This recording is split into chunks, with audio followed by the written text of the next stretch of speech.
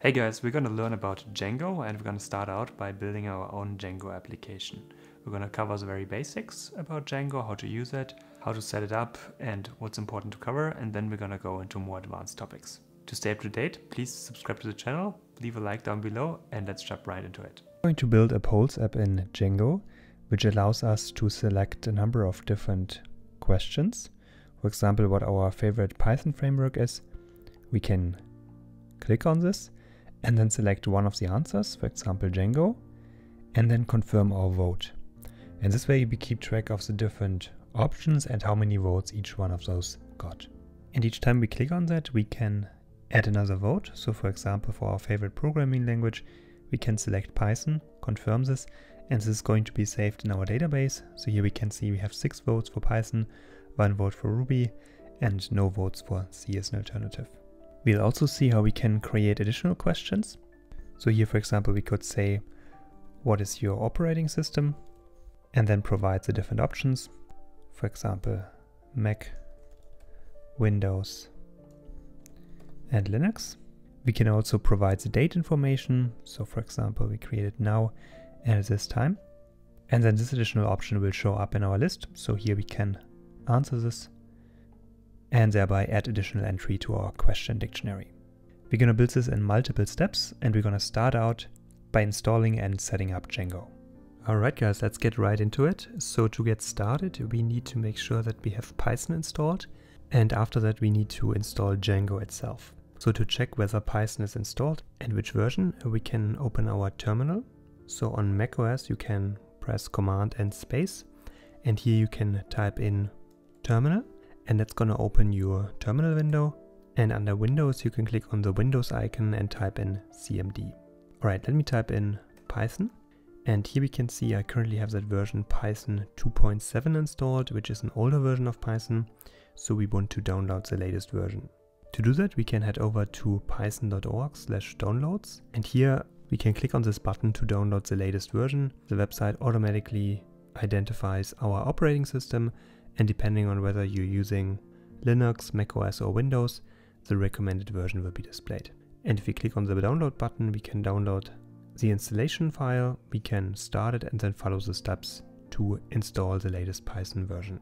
Now to verify that that worked properly, we can go back to our terminal window and here I'm going to type in Python 3 and this is going to open the Python REPL. Here we can see we have Python version 3.10.5 installed which is currently the latest stable version. Now in the next step we can install Django, but to do that we are going to install it in a virtual environment. And to do that we are going to use the pip package manager. Link in the description down below if you haven't installed that yet. And we are going to type in pip install virtualenv and this is going to install the virtual environment for us. Next we can navigate to the folder where we want to create our application. So for example on our desktop. And then we can type in the command virtualenv followed by the name of the virtual environment that we want to create. So for example env and we can press enter. Now after that we can have a look at our current directory by typing in ls and we can see we now have a folder in here called env. And this folder contains the information for our virtual environment. So in the next step we can actually enable our virtual environment. To do that we are going to type out source followed by env, the name of our folder, bin, which is another folder inside of the env folder, and then activate. And now we can see we have env in parentheses, and that means our virtual environment is activated. And now inside of our virtual environment, we can install Django. We could have also done that outside of that virtual environment, but especially if we work on multiple Django projects, we may want to work with different versions of Django, therefore it's generally a good idea to work with a virtual environment because that nicely separates the different Django versions so we don't have a conflict. Now with our virtual environment activated, we are going to type out pip install Django and that's going to download Django version. And here we see we have Django 4.0.6 installed. Now once Django is installed, we can use the command django-admin followed by start project and the project name to create a new project. So in this case, we are going to create a new project called MySite which is going to create a directory for us and, and our Django application will be inside of that directory. So let's have a look. We can see we have a new directory my site created. So let's navigate to that After that, we're going to open that in a code editor. I'm using Visual Studio Code in this case. So I'm typing out code dot. And when I press enter, it's opening the current directory in Visual Studio Code. Here we can take a quick look at our directory. So we have the my site directory here with a couple of files underneath. And then we have a separate manage.py file. So the manage.py file is a command line utility file that we're using to execute different Django commands. And this contains different instructions. We are not going to modify it most of the time, but it's very important to have that in place. Then we have our my site directory right next to that. And that's the actual Python package that we use for our project. Here we have an init file that's empty. And that basically tells Python that this directory should be considered a Python package. We also have a settings file here and a URLs file which we're going to take a look at in a little bit that's being used to properly match the different routes that we are going to use for our web application. But before we do anything else, let's go back to our terminal and let's use the manage.py file that we just saw to start our development server.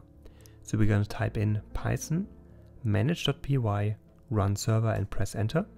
We get a warning here that we have a certain number of unapplied migrations we're going to handle that a little bit later, that's to be expected. And then we can see here at the bottom that we started the development server at this particular URL. So we can hold down control and left click and then click on open link. And that's going to open our web browser and we can see that the install worked properly. So our Django application is still very basic, but it properly started up. And we can see here at the top that we indeed have this particular IP address and we are operating on port 8000, which is the default port for development. Now, if for whatever reason port 8000 is not available for you, then you could also specify the port number, for example 8080. And if you already have that port in use, that's a possibility to use a different port manually. But in most cases, run server like this should be sufficient. At this point, we created our new Django project and we figured out that it starts properly. But now to actually create our project itself, we are going to work with a number of different applications. The Django project actually comprises of different apps that we can work with and apps themselves are kind of a container of certain functionality. So we are going to create a polls application. So therefore we are going to create an additional app called polls. And to do that, we are going to use the manage py command again. And this time we are going to type out start app and then we specify the name of the app that we want to create. Now when we press enter that new app is created and we can now head back to our code editor and here we can see next to my site to the project we created we also have the polls folder. And this polls directory here contains a number of entries. For example we have apps.py we have a model section and we have a view section. So in general we're going to split up our code into front-end related topics, which would be in the views.py file, and then database-centric information would be in models.py. Let's first open our views.py file, and we are going to create an index page. We are first going to remove everything from that file here, and then we are first going to import the HTTP response class from, from the HTTP module, which is part of Django, and that allows us to handle requests in Django.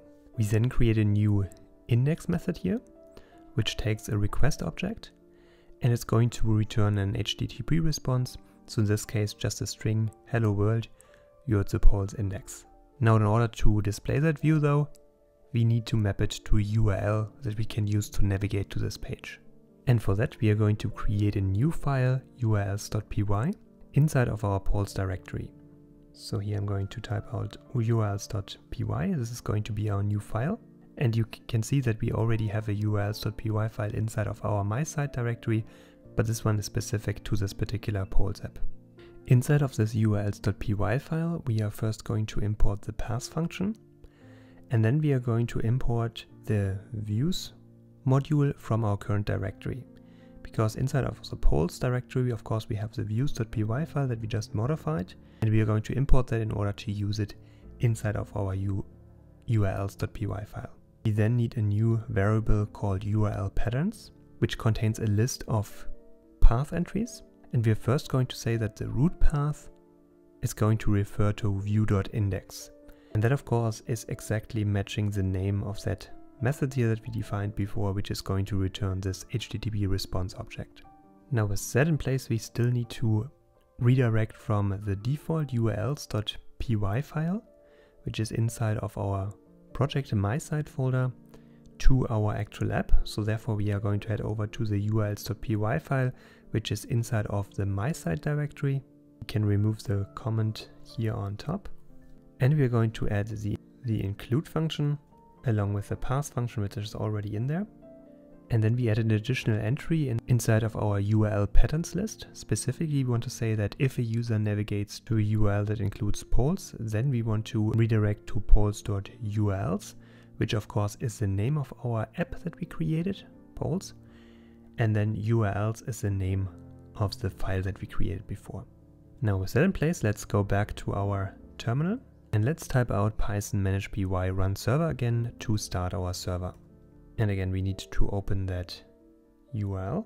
And we can see we get a 404 error here. That's because we currently don't have any URL entry that redirects to the default path. We need to adjust our URL here to polls. And now we can see the text that we typed out before. This is exactly the text that we typed out here in our HTTP response object. We typed out hello world, you are at the polls index.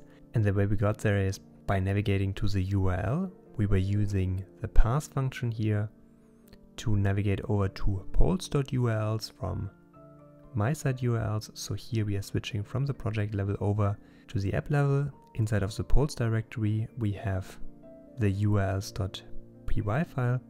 And here we are redirecting to views.index. So the name of the module, the name of the file, views.py, and here the name of the function that we're working with. So if we head over to views.py, we can see the function we defined before, and here we are returning that response. So that's basically how we can navigate to this. So we made the first change to our application. We adjusted the URLs to navigate to this particular page, and we have a basic way to provide some content of our web application using Django. In the next step, we are going to work with databases. And for that, see you guys in the next video.